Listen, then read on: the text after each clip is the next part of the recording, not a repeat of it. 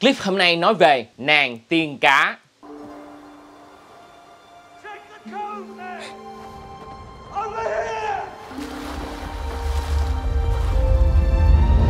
Như các bạn cũng biết, Disney đã quyết định làm lại bộ phim Nàng Tiên Cá mà người đóng. Và có một quyết định cho tới bây giờ ở trên mạng Việt Nam tụi nó chế không biết bao nhiêu là cái meme đó là Nàng Tiên Cá sẽ là người da đen. Thật ra mà nói, tôi không có vấn đề gì với chuyện này hết. Bởi vì phim của Disney làm, Disney muốn làm mẫu da gì cũng được, đó là chuyện của Disney. Nhưng mà tôi có thể hiểu được vấn đề của nhiều người Đó là nàng tiên cá này thực sự không giống như một nàng tiên mà giống cá nhiều hơn. Cho nên có thể là người ta không có thích là bởi vì cái vấn đề đó. Nhưng trong cái clip ngày hôm nay chúng ta sẽ không nói về vấn đề đó. Tại cái bộ phim đó nó cứ chưa ra mà. Nít đã thích thì nít ai muốn coi coi thích ok kệ cũng không sao hết. Mà là trong cái clip hôm nay chúng ta sẽ hiểu và nói về cái vấn đề lớn nhất của bộ phim nàng tiên cá đó là Ngoài đời, nếu có thiệt sẽ không bao giờ có một mối quan hệ đàng hoàng giữa nàng tiên cá với hoàng tử Và sẽ không có một đám cưới bởi vì cuối cùng hai đứa đó sẽ chia tay nhau là chắc chắn luôn. Bởi vì sao? Coi clip này rồi sẽ hiểu.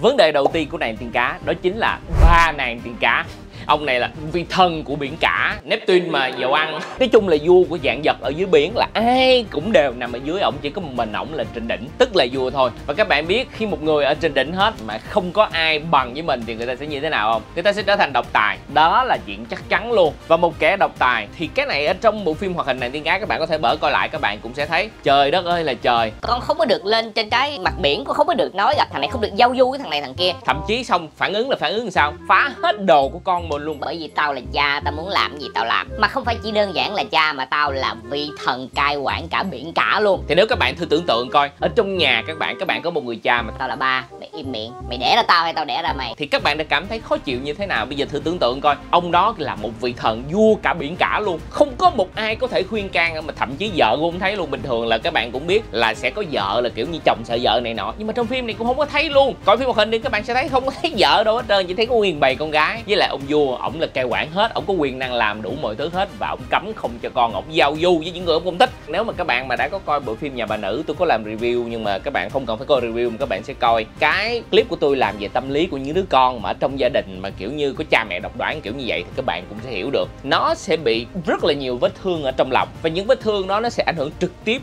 với cái cuộc sống sau này của nó. Không phải là chỉ cuộc sống bình thường thôi mà là cuộc sống tình cảm và quan trọng nhất là cuộc sống tình cảm. Đặc biệt lắm, tại vì trong bộ phim này là một bộ phim hoạt hình nói về chuyện yêu đương giữa hai người mà. Cái này á thực ra nó cũng giống như là nhà bà nữ nhưng mà thiệt ra này là nhà ông Neptune đó mấy bạn. Thành ra cái chuyện mà thái độ của cái ông Neptune đối với con của ổng như thế nào thì bảo đảm khi mà nàng tiên cá Ariel lên trên mặt đất sống cũng sẽ như vậy đối với thằng hoàng tử thôi. Và coi như đó là một cái dấu hiệu của một cái mối quan hệ là chết nó ngay từ đầu rồi. Một trăm phần trăm luôn. Thằng cha đã độc tài độc đoán bảo thủ không ai nói được. Đứa con là bị ảnh hưởng bởi người cha thôi thì giờ nó cưới ai thì chắc chắn chuyện đó nó cũng sẽ xảy ra. Tôi đã nói về cái vấn đề này rất là nhiều lần trong cái chuyện mà cha mẹ đối xử với con cái như thế nào. Nó sẽ hình thành nên con cái như thế đó. Nó những năm tháng đầu đời nó ảnh hưởng rất là nặng đối với bạn. Thiệt, coi những cái clip của tôi đi, các bạn sẽ thấy và bảo đảm Ariel không có dễ thương như là trong phim chúng ta thấy đâu vấn đề kế tiếp đó là Ariel là Ariel, hay là Ariel cũng được, Ariel với lộn. Tôi đọc sai, sorry mấy bạn, khúc trước một chút xíu. Ariel là một cô gái mới có 16 tuổi mà thôi. Đúng vậy, các bạn coi trong bộ phim đó các bạn sẽ thấy đây chỉ là 16 thôi. Một cô gái mới có 16 tuổi là teen girl thôi. Mà vấn đề lớn nhất của teen là cái gì? Là quyết định vô cùng bậy bạ. Nói thiệt các bạn, bây giờ chỉ cần 27 tuổi thôi, các bạn nhớ lại hồi mình còn đi học. Còn ở trong trường mình quyết định bao nhiêu cái, các bạn có thể cảm thấy tự hào về quyết định đó của mình. Không có mấy cái hết á. Thậm chí là bây giờ không cần phải là tiên vừa mới 19 thôi là các bạn đã thấy 16 mình là như đứa con ngu như là thằng khùng rồi. Thì các bạn thử tưởng tượng coi vào thời điểm 16 tuổi mới 16 thôi không có biết gì về một cái xứ sở xa lạ không biết gì một giống loài xa lạ mà đột nhiên thôi giờ quyết định bỏ nhà đi. bỏ toàn bộ giống loài của mình bỏ cha bỏ mẹ bỏ hết mà chạy theo một thằng con trai luôn. Chắc là quyết định chính xác nhất cuộc đời của mình rồi đó. Chết rồi thiệt, mấy đứa con nít quyết định rất là tầm bậy. Mà nói thiệt, các bạn có thể coi những cái clip khác về tâm lý của tôi, chẳng hạn như là cái Stockholm syndrome á. Nó là một cái hiệu ứng mà gọi là cơ bạn yêu thương kẻ bạo hành. Ngay cả một người có đầu óc lớn rồi mà vẫn có thể bảo vệ một kẻ đánh đập và hạ mình. Thì thử tưởng tượng coi, một đứa con gái mới 16 tuổi mà bây giờ bỏ nhà đi theo trai mà nghĩ rằng đây là quyết định đúng đắn với cuộc đời mình là chết chết chết chết. Trời ơi, tầm bậy, tầm bạ, vô cùng luôn. Cuộc đời nó không phải chỉ có nhảy múa, nó không phải chỉ có hung nhau và không phải chỉ có ôm nhau thôi là tự động là cảm thấy wow. I wanna be part of your world. Không có không có part of your world được đâu. Trời đất ơi là trời. Part of your world gì còn? My world thì sao? Mày còn ba má, anh chị em rồi sao rồi? Bao nhiêu chuyện xảy ra hết. Và cơ bản nữa, một cái điều quan trọng nữa là hai đứa này, một đứa là hoàng tử, một đứa là công chúa. Một đứa là công chúa của cả biển cả luôn. Còn một thằng là hoàng tử của cả loài người. Nó không phải cả là người, chỉ có một cái dương quốc đó thôi. Hai cái đứa này mà lấy nhau á, nó sẽ xảy ra bao nhiêu là cái vấn đề. Vấn đề là logistics nè, vấn đề mà về đám cưới nè, rồi vấn đề mẫu hệ, phụ hệ nè, rồi tùm lum tà la cái hết trơn đó. Nó mới 16 tuổi, nó không có nghĩ gì hết nó chỉ nghĩ đơn giản là yêu nhau thì lấy nhau thôi. Nhưng lấy xong nó đẻ ra một đống chuyện nữa. Trời ơi mà trời gặp thêm ông ba nội ba lại cơ tùm lum tà la hết. Và 16 tuổi nói thiệt một lần nữa lúc còn 16 ai cũng ngu hết. Mà bây giờ tự nhiên bỏ hết đi theo là bảo đảm 100% một thời gian sau mày muốn quay lại biển cũng quay được đâu con ơi vấn đề kế tiếp còn quan trọng hơn nữa. Hoàng tử Eric ăn uống sao? Các bạn cũng thấy ở trong phim á anh đó anh đi biển. Anh đi biển anh làm gì? Anh đi biển không phải là anh để nhảy múa vui chơi để mà cho dưới. À, mấy tiên cá thấy anh ngon không nè? Anh có chân nè. I have something you don't have. Feet không có. Anh đi biển để đánh cá. Và con người đánh cá để làm cái gì? Để ăn các bạn coi trong phim một quả, các bạn cũng thấy đầu bếp của anh Eric là một cái thằng cha mà chặt cá mà nói chung là cảm thấy khoái cảm khi làm những cái món hải sản để mà ăn. Thì các bạn thử nghĩ đi Ariel sẽ phản ứng như thế nào khi dọn lên ăn trong bữa tiệc cưới của mình là bạn mình? Trời đất ơi là trời. Bây giờ dù nó có yêu thằng này cỡ nào đi nữa nó yêu mà yêu say đắm đi nữa thì Sebastian làm sao được đúng không? Các bạn có biết con người chúng ta rất thích ăn cua ăn tôm nè ăn cá ăn đủ thứ những cái con hải sản. Mà bây giờ tưởng tượng trong đám cưới. Đám cưới của anh anh quyết định sẽ đãi tất cả những cái món có tên của bạn em như là tôm hùm hoàng đế như là cá chạch biển khơi như là ủa sao em làm gì những cái tân vậy em? Trời ơi ăn mấy con này ngon lắm bổ lắm em ơi. Tao bổ gì đâu mày bây giờ này là bạn tao không bao giờ giống như giờ mỗi lần ăn uống cái bắt đầu tao đè tao chặt bạn, mày mày chịu nổi được không mày? Vấn đề đó là một cái vấn đề nó không chỉ đơn giản là cái chuyện hôm nay ăn gì? Ừ ăn gì cũng được. Con cá nha em. Không ăn cá là anh chém anh. Không được không có cái kiểu đó. Mà vấn đề đó là vấn đề murder là vấn đề một dạng sát nhân. À, không sát cá mới đúng chứ. Trời đất ơi làm sao mà có thể có một cái mối tình giữa hai cái chuyện mà một người mình lấy yêu thương mà suốt ngày ngày nào cũng toàn là ăn bạn bè của mình? Trời đất ơi làm sao mà được? Chuyện này không thể nào được hết trơn hết á đây là những cái vấn đề mà nó thiệt nó thuộc dạng về chuyện communication. Trong cái chuyện mà yêu nhau á thì thật sự tôi có làm một cái clip nói về năm ngôn ngữ tình yêu. Thì cái vấn đề á là communication luôn là cái vấn đề lớn nhất của các cặp đôi tại vì các bạn cần phải nói chuyện với nhau. Vì tất cả những cái thứ mà các bạn thích các bạn ghét để từ đó các bạn mới biết mình có compatible như thế nào. Thì đó là một cái clip rất là hay về tình yêu các bạn nên coi và các bạn nên share cả cái clip đó và cả cái clip này luôn thì clip này nó vui còn clip đó thì quá hay. Và donate cho cái kiến thức của clip đó đi. À, chứ clip này thì cũng vui nữa.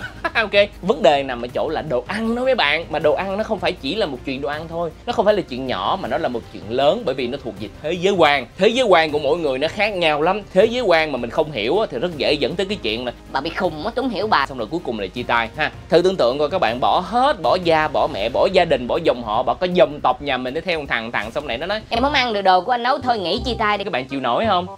Sao chịu nổi đúng không? Và bây giờ là vấn đề lớn nhất đó chính là Ariel với lại Eric có những quan niệm vô cùng khác nhau. Về thể dục các bạn cũng biết chữ thể dục là như thế nào rồi. Tại vì nếu mà chưa nói tử tình á, thì mất công là youtube nó nói được đâu tại tôi nói quan hệ thể dục giữa người và cá nó có rất là nhiều chuyện khác nhau về chuyện quan hệ thể dục. Các bạn thử tưởng tượng coi bây giờ nếu các bạn gặp một người nào đó các bạn rất là yêu thương xong rồi à, khi các bạn mà yêu nhau tới một mức độ nào đó thì các bạn sẽ muốn gắn kết với nhau ở một cái tầng cao hơn. Và cái tầng cao đó thì cái quan niệm về cái quan hệ thể dục của cái người đó nó sẽ là bây giờ mình sẽ cùng nhau chạy bộ sáu bảy trăm cây số rồi sau đó mình sẽ ăn tám chín ngàn cái đùi gà sau đó mình cùng ói vô mặt nhau. Đó là cái quan niệm về cái quan hệ thể dục của anh đó. Em có chấp nhận không? Mình nói bị khùng hả mày? Mày bị điên hả? Thì các bạn sẽ hiểu được cái tâm trạng của Ariel khi đêm tân hôn với anh Eric. Anh Eric lột hết đồ ra. Quan hệ thể dục em ơi. Lúc đó cái gì vậy? Chuyện gì xảy ra vậy? bởi vì các bạn nên nhớ Ariel là cá. Và cá cái cách mà cá quan hệ thể dục để nối dòng dõi á, nó không có giống như người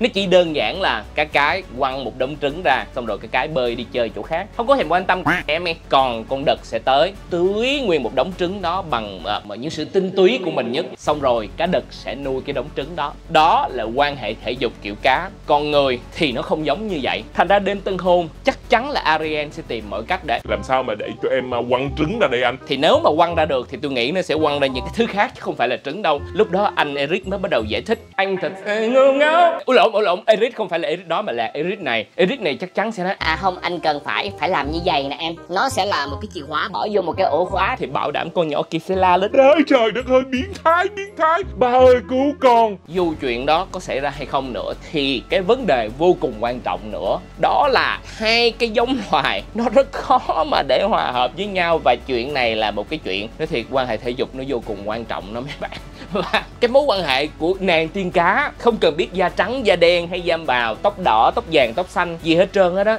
giữa anh Eric và chị Ariel bảo đảm sẽ có không biết bao nhiêu vấn đề. Và đám cưới đó sẽ là một đám cưới bể nát bể nát. Ngay từ cái chuyện 16 tuổi đi lấy chồng là đã mệt rồi. Chồng là một cái giống loài khác, còn mệt hơn. Chồng ăn thịt bạn của mình, còn ba của mình á là một thằng cha độc tài. Xong rồi tới bây giờ hai đứa thể dục cũng có những quan niệm vô cùng trái ngược nhau, khác nhau. Thành ra nếu mà có ngoài đời, có nàng tiên cá thì sẽ không bao giờ có một cuộc tình như là trong phim của Disney đâu. Bảo đảm luôn. Và cái clip này, tới đây là hết rồi đó. Nó là một cái clip mà nói thiệt. Mỗi lần tôi nghĩ tới là tôi thấy nó cũng mắc cười vì tất cả những cái chuyện này chỉ là cổ tích thôi. Nhưng cổ tích á, nói thiệt á, nó cũng nói lên được nhiều điều lắm. Và nếu mà các bạn coi cái clip của tôi về cái chuyện mà những cổ tích rùng rợn á, các bạn sẽ thấy cái version cổ tích thực ra nó không có phải dễ thương như hiện tại đâu, mà nó rất là rùng rợn. Trời đất ơi là trời. Cái gì đâu mà hả? Nàng công chúa ngủ trong rừng á, thiệt ra là bị cái anh hoàng tử tới. Anh anh đó anh anh anh anh xâm phạm trong cái giấc ngủ đó mấy bạn. Xong rồi á, cái lần thứ sáu anh anh quen ăn cái bắt đầu anh tới anh chuẩn bị làm thêm lần nữa. Thì cô này mới tỉnh dậy cái anh á.